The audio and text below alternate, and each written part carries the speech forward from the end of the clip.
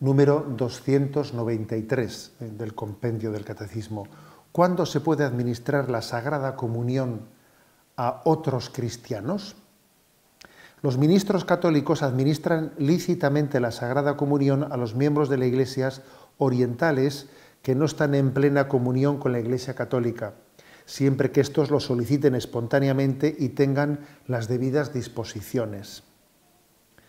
Asimismo, los ministros católicos administran lícitamente la Sagrada Comunión a los miembros de otras comunidades eclesiales que, en presencia de una grave necesidad, la pidan espontáneamente, estén bien dispuestos y manifiesten la fe católica respecto al sacramento.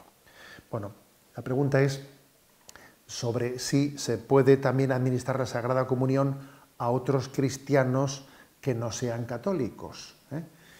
Entonces, eh, hay que decir eh, un principio clave, ¿no?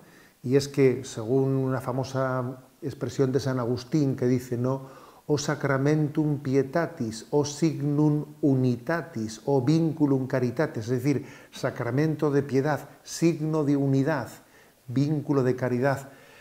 Para poder participar de la misma comunión hay que participar de la misma fe participar de la comunión sin participar de la, mm, de la fe, pues es, un signo que, es, que es sacrílego, porque es, no es actuar en verdad, ese sacramento está, eh, no, está, no está significando ¿eh? la, unión, no es signo de unidad, como el Señor nos pidió que fuese, ¿no? de unidad en la fe. Por eso habréis, hemos observado como algunas, de, algunas peticiones realizadas en el contexto del sínodo del conocido como sínodo alemán, obviamente no pueden ser, no han podido ser asumidas por la Iglesia, por nuestra Madre Iglesia. La pretensión de que los católicos puedan comulgar pues, en, la, en la celebración eucarística de los protestantes o los protestantes en la comunión, no, no, puede ser aceptada por la Iglesia porque sería un signo falso, sería un signo falso. ¿eh? Utilizar la Eucaristía para hacer de ella pues un, pues un lugar de, encuentro, como si fuese intercambiarse pues un, signo de, deseo de acogida, no, no, no, es, no es recurrir a ella debidamente. La Eucaristía quiere ser, o sea, debe de ser, está llamada a ser el signo de la unidad, porque, porque participamos en la misma fe, comulgamos del mismo cuerpo de Cristo.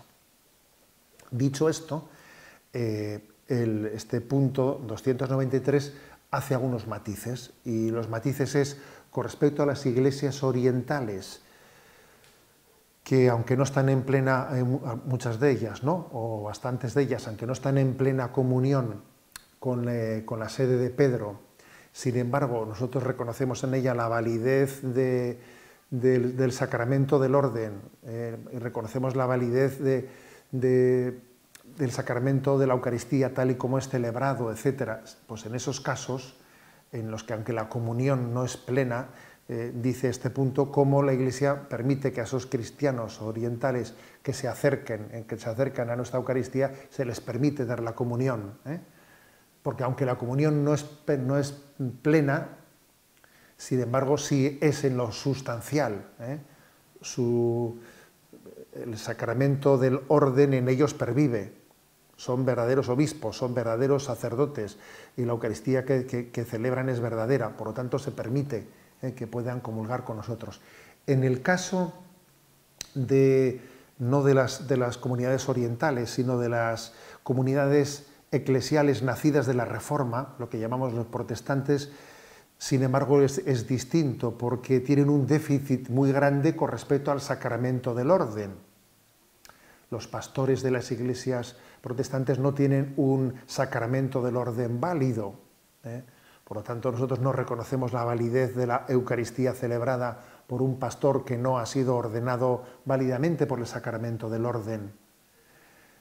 Eh, y, en consonancia no tendría sentido, como he explicado al principio, que ellos eh, pues, participasen de, de, una Eucaristía nuestra, de no ser que, dice este punto, exista un, una grave necesidad un peligro de muerte, en cuyo caso la Iglesia pues siempre eh, ante, ante, una situación en la que la salvación del alma pues tiene que ser prioritaria, en ese caso dice, admítase eh, a la comunión a un protestante que en una situación, digamos, extrema, de grave necesidad, se acerca para pedir un sacramento con la condición de que él manifieste tener fe, tener fe en lo que la Iglesia Católica confiesa cuando celebra la Eucaristía, que obviamente supone recibir de esa manera el sacramento, supone dar un paso que se hacer, que se, que se prácticamente supone la conversión o, el abrazo del, catolicismo, puesto que está recibiendo ese sacramento afirmando, afirmando que cree en lo que la Iglesia Católica recibe, eh, o sea, celebra, mejor dicho, en el sacramento de la Eucaristía. Esta es ¿no? pues la explicación que da el Catecismo 293 de, cómo administrar la Sagrada Comunión o no administrarla discerniendo eh, en cómo hacerlo con otros cristianos que no están en la comunión con la Iglesia Católica.